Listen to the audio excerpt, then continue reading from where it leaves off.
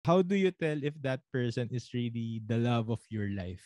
Kahit naawain ka niya, kahit na sobrang todo kayong magkaroon ng alitan, nasaktan niyo isa't isa pero nag end up rin kayo na magkasama. Oh, love of my life, destined forever. I will be right here by your side. I wanted something different that time.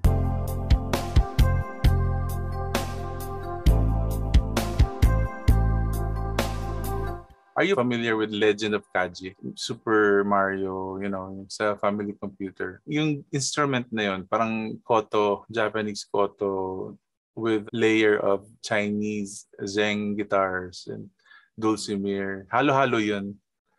I just wanted a keyboard track na wala pang lumalabas parang ganun.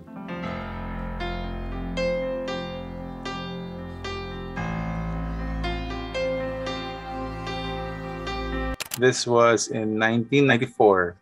I wrote it together with my cousin-in-law, si Rainier Diaz. Since he's Australian, iba yung mga choices of words, the way that they express themselves. I was in my learning years, so I, I really love it. I love the experience. Ang love of my life is inspired by the feel of Kondiman songs. Eh. Sa buhay ko, mahalaga you know, creating a song or, or arranging a song that will come out as falsetto for a guy is to write a song that can fit for a girl. So, ang ginawa ko nun, ginawa ko siyang arrangement na akma para sa babae. So, nung pag kinanta ni Bricks, falsetto siya. He's got a very, very good falsetto, good quality falsetto. there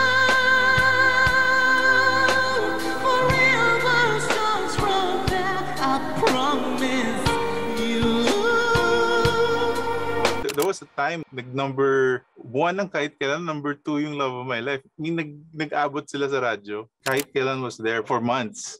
Grabe yun. Yung mga panahon na yun, radyo. Wala pang YouTube kasi. Nakakataba ng puso kasi masyado. Di ba?